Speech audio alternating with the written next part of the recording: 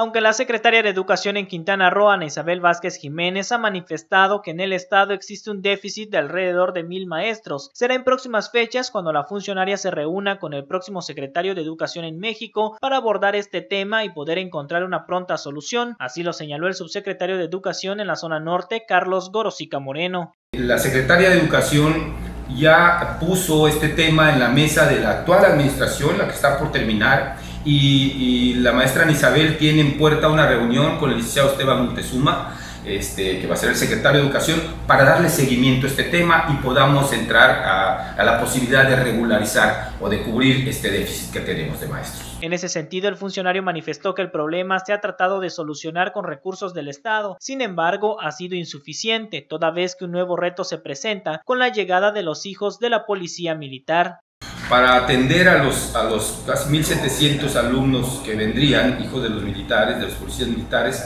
tuviéramos la necesidad de, obviamente, de, contratar por honorarios, que eso es lo que ha estado haciendo el, gobierno del Estado. Eh, este déficit del que habla la Secretaria de Educación es, corresponde justamente a que, a que estos maestros la federación no los, no los ha considerado. Nosotros debemos considerar que por cada 35 alumnos al máximo debe haber un docente. Entonces, eh, eh, eh, en tanto esto no se ha considerado, es el gobierno del Estado, estamos cubriendo más de 1.500, este, el gobierno del Estado, más de 1.500 este, pagos por honorarios. Señaló que incluso el tema del libro se ha vuelto controversial toda vez que han tenido que hacer una tercera solicitud sin que hasta el momento lleguen los textos que hicieron falta, por lo que dijo, buscarán que los alumnos que lleguen a mitad del curso escolar utilicen los libros que les debieron dar en sus estados de origen. Con imágenes de Giovanni Tamayo, Luis Más, Notivisión.